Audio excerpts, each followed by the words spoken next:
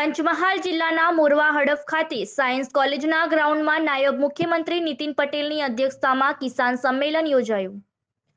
પંચમહાલ, મહીસાગર અને દાહોદ જિલ્લાના મંત્રીઓ તથા એમએલએની હાજરીમાં કિસાન સંમેલન યોજાયું. નાયબ મુખ્યમંત્રી નીતિન પટેલે જણાવ્યું કે, કૃષિ કાયદામાં નવા સુધારાઓએ ખેડૂતોને ગમે ત્યાં ઉત્પાદન વેચવાની સ્વતંત્રતા આપી છે. કાયદામાં સુધારણા બદલે રદ કરવાની વાતો કરનારા ખેડૂતોને ગરીબ જ રાખવા માંગે છે. કેટલાક હજાર લોકોના ફાયદા માટે કરોડો ખેડૂત માટે ઉપકારક એવા કૃષિ કાયદાઓ રદ કરી શકાય નહીં. કોંગ્રેસ સરકાર દ્વારા ખેડૂતોને ગેરમાર્ગે દોરી ના જાય તેનું પણ ધ્યાન રાખવાનું સૂચન કરવામાં આવ્યું.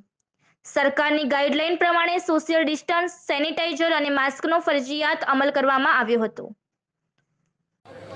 ગુજરાત પૂરતું જે કોંગ્રેસ કામ કરી રહી છે.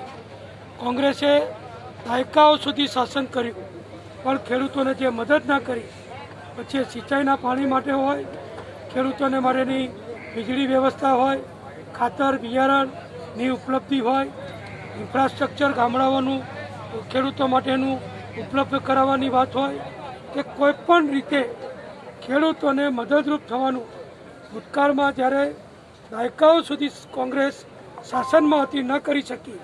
એ મોદી સાહેબે ગુજરાતમાં મુખ્યમંત્રી તરીકે રહી અને હવે કેન્દ્રના વડાપ્રધાન દેશના રહી જે કામ કરી રહ્યા છે, એનાથી દેશના ખેડૂતોને જે મોટો આવક વધારો થવાનો છે અને વર્ષ બે હજાર બાવીસ સુધીમાં ખેડૂતોની આવક બમણી કરવી એ લક્ષી મોદી સાહેબ જ્યારે ચાલી રહ્યા છે, ત્યારે ખેડૂતો પણ આ કાયદાની વારી કાટી ઘૂંટીને સમજે એને સ્વીકારે અને એને સમર્થન આપે.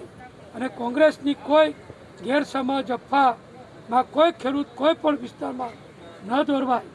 એ માટે ભારતીય જનતા પક્ષે જે આયોજન કર્યું છે, એ આખા ગુજરાતમાં છે અને આખા ગુજરાતના ખેડૂતોને આવરી લઈ અમે આ માહિતી પક્ષના માધ્યમથી આપી રહ્યા છીએ. રિપોર્ટર કલ્પેશ પટેલ, મોરવા હડફ.